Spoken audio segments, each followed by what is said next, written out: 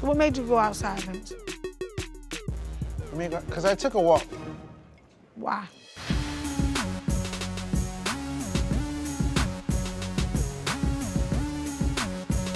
Because you were frustrated. And I said, let me just take a walk outside. This album really means a lot to me, and I want the world to love it as much as I do.